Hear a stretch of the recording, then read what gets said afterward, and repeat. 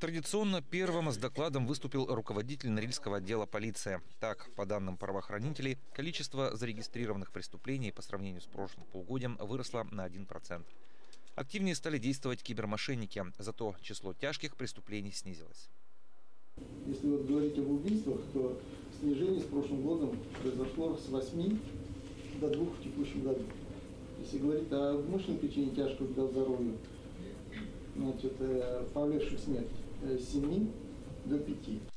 О происшествиях, но уже на воде, доложил начальник управления по делам ГОЧС. Сейчас, по словам Андрея Магерова, под особым вниманием владельцы маломерных судов. Многим не терпится отправиться в плавание, а между тем выход в акваторию Норила-Пясинского района небезопасен. Озера активно освобождаются от льда. К сожалению, был уже один инцидент на, на воде в районе э, моста через реку Норильская в субботу э, по технической неисправности затонуло маломерное судно, э, но люди были э, спасены проходящими судами, которые уже ходят, ну, благодаря тому, что еще находились спасательные жилеты. Далее перешли к темам более радостным. Заместитель главы Норильска по социальной политике рассказала о ходе летней оздоровительной кампании. Сегодня заканчивается первая смена в пришкольных лагерях. Всего на базе восьми образовательных учреждений отдохнули 860 ребят.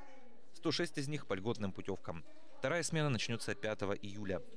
В выездных лагерях в настоящее время находится 620 юных норильчан. Также Наталья Коростелева доложила о подготовке к ежегодному туристскому слету на реке Хайрлах, который пройдет 6 и 7 июля, а также рассказала о том, как норильчане будут отмечать День города. Традиционно на стадионе Заполярник в 9.30 начнется спортивный праздник. Это легкоатлетические забеги на 100 метров и эстафеты 4 по 100. Велопробег. А, Также будут спортивные э, площадки работать различные и интерактивные зоны. Мини-футбол, фитнес-марафон, гири, армрестлинг и другие. На Гвардейской площади традиционно расположится выставка техники предприятий Норникеля. Праздничный концерт, как обычно, состоится на Комсомольской площади. С Днем города норильчан поздравят приглашенные артисты Юлия Литош и Валерия. На следующий день запланировано шоу «Дефиле парад невест», концертная программа с участием творческих коллективов города, фестиваль уличного кино и выступления местных рок-групп. Михаил Чечлев, Юрий Толстов, Вести Красноярска-Знорильска. На сегодня в Норильском государственном индустриальном институте открыто 26 вакансий. В рамках программы привлечения дефицитных специалистов на этот год квоты всего 4. Но это уже хорошо, говорят в ВУЗе. В последний раз масштабное пополнение педагогического состава было почти 20 лет назад. За это время число преподавателей значительно уменьшилось.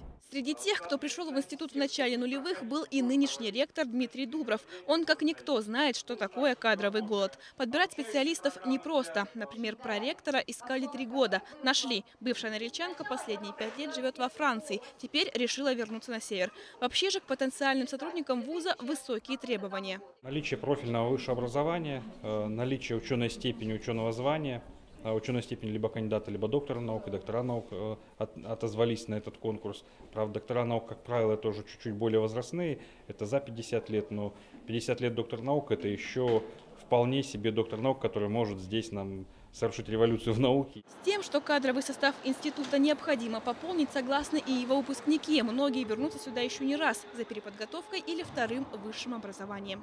Многие мои одногруппники, с которыми мы учились, они отмечали, что преподавателей в институте недостаточно. На нашей кафедре их было всего пять. И э, многие из них вели несколько предметов, и качество порой падало, поскольку ну, преподаватель сам не может объять такое большое количество материала, так что новые преподаватели точно нужны. Претенденты на вакантные ставки уже есть. Кто именно пополнит преподавательский состав, в начале сентября решит ученый совет кафедры. Муниципальная программа по привлечению дефицитных специалистов работает в Норильске уже 7 лет. В списке востребованных – врачи и учителя. Приглашенным работникам предоставляются служебное жилье и подъемные в размере от 150 до 300 тысяч рублей, в зависимости от квалификации. Оплачиваются расходы, связанные с переездом в Норильск, и дни обустройства на новом месте. Список вакансий и подробная информация для соискателей на официальном сайте Норильска. Вера Шелепова, Юрий Толстов, Вести Красноярск из Норильска. Набережная площадь Дудинки – излюбленное место отдыха горожан. С приходом теплых дней культработники города устроили необычный досуг для северян. В разгар рабочего дня развернули небольшую книжную выставку. Классика, детективы, любовные романы и приключения. Каждый желающий мог выбрать книгу на свой вкус и даже прочитать отрывок вслух. Громкие чтения под открытым небом с удовольствием поддержали взрослые и дети. Они читали рассказы русских писателей, сказки зарубежных авторов и стихи на языках коренных народов Таймыра. Юные северяне с удовольствием декламировали долганскую притчу про комара. Чип-чибычак, жабы-то чичак, аня-кана апыта, кумавкана хебите. С друзьями мы читали э, по списку и фантастики. Э, большинство, что я читала, это комиксы и детективы. Сегодня э, я читала Сергея Силов, Силова. Э, было интересно, конечно же, про незнакомого человека. Литературная акция на свежем воздухе проходит в рамках программы «Лето книги Позитив», которую организовали сотрудники городской библиотеки. Главная цель мероприятия – привлечь к чтению как можно больше людей и вызвать интерес к книге у подрастающего поколения. Ну, вообще громкие чтения – это для того, чтобы человек раскрылся, ну и проявить себя действительно в какой-то степени как артистизм даже, может быть, да. Ну, естественно, вот дикция вот, и внимание. Ну и, соответственно, вот как бы, чтобы человек не боялся публики. Это же все-таки своего рода тоже публичное выступление. Вот, у нас очень много сейчас народу на площади, поэтому я так думаю, что это способствует тому, чтобы человек раскрепостился. Мероприятие на свежем воздухе в Дудинке этим летом планируют проводить чуть ли не каждый день. Это всевозможные акции, викторины и познавательные игры. А громкие чтения на набережной площади будут проходить каждый вторник. Анна Надер, Олег Гармаш, Вести Вести Красноярск из Дудинки. Совсем скоро эта дорога, ведущая на Красные Камни, превратится в настоящий туристический Бродвей. Каждую субботу и воскресенье сотни норильчан будут ходить этой тропой. Но, к сожалению, не все из них отличаются чистоплотностью.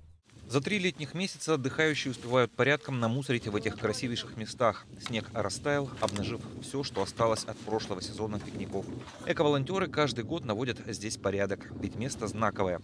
Приют беспокойных сердец появился здесь 10 лет назад. Мемориал установлен в память о путешественниках и исследователях Таймыра, не вернувшихся домой.